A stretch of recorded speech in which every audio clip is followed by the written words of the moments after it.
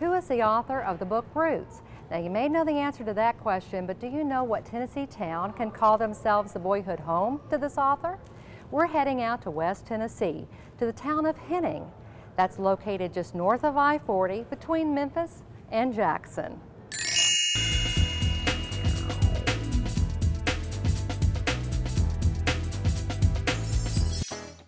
The author of Roots was also the author of Malcolm X.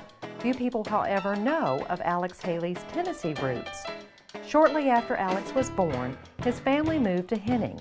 There they operated a lumber company and Alex went to grade school. As a boy, he dreamed of becoming a writer. His friend recalls Alex's early childhood dreams. He said, I want to be a writer. You must want to write. Not just be a writer, but want to write, in spite of difficulties. The family later moved, and after graduating from high school, Alex enlisted in the U.S. Coast Guard. After 20 years of military service, he embarked on a new career as a writer. He worked with Reader's Digest and soon wrote his first book, The Autobiography of Malcolm X, as told to Alex Haley. It was translated into eight languages.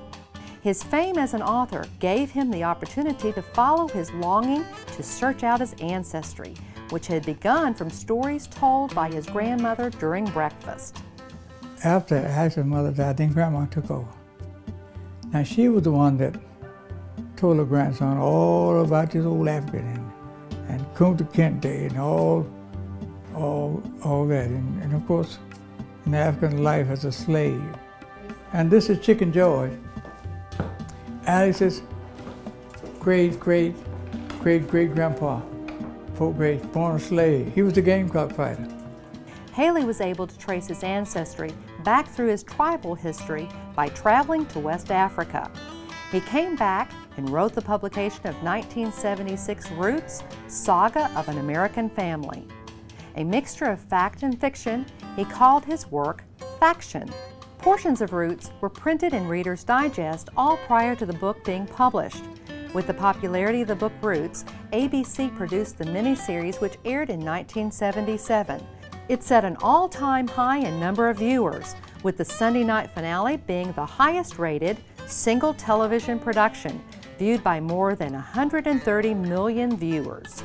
The book Roots sold more than 1.6 million copies in the first six months. It was translated into 37 languages. The book received many awards, including a Pulitzer Prize in 1976.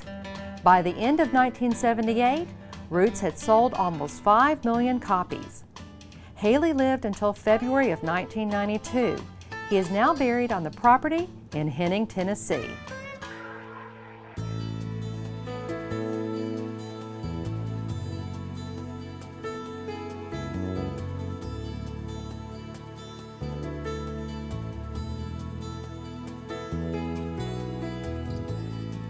For more specific directions to visit Alex Haley's boyhood home in Henning, Tennessee, visit our website at TennesseeTreasures.net. That's TennesseeTreasures.net. We give you more details there to help you explore this treasure yourself.